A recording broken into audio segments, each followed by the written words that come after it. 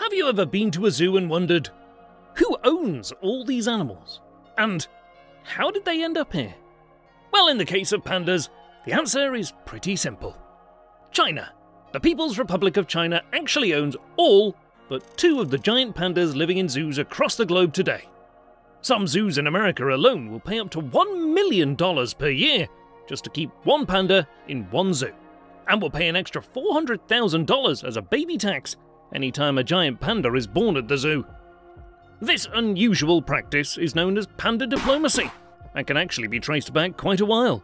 We first see the act of gift giving in the form of a panda during the Tang Dynasty, back in 685. As the centuries went on, this unique tradition continued, but didn't actually become known by the name of panda diplomacy until the Cold War, as the guidelines for sending pandas abroad changed.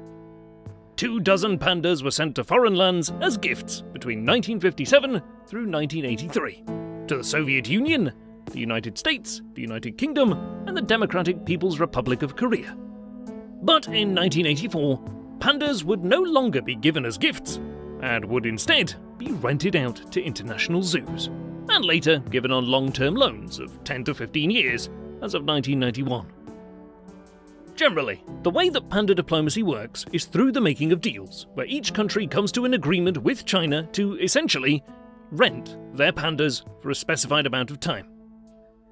After which point, the expiration can either be extended or the panda can be repatriated to China. Additionally, though, since China does own these adorable creatures, if political ties between the foreign nation and China go sour, the Chinese government can force an end to these loans and bring any panda of their liking home. The actual deals themselves have also often reflected political stances and endeavours.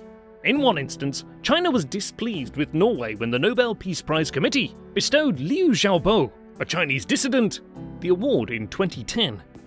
Up until this point, Norway had been China's top salmon supplier, and the UK wanted a panda. So, what was the logical solution?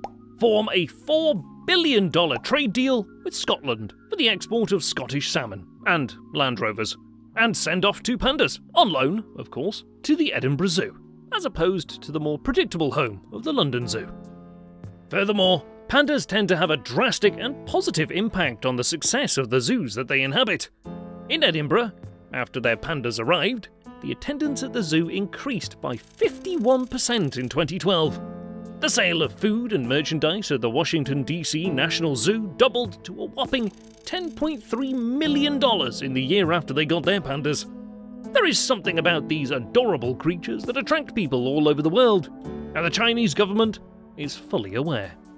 This means that once a deal has been made between China and a foreign zoo, hoping to spike their revenue with a panda attraction, it becomes easier for the Chinese government to use the animals as bargaining tools for future extensions of the deal. Need something from another nation? Give them a panda! And an ultimatum.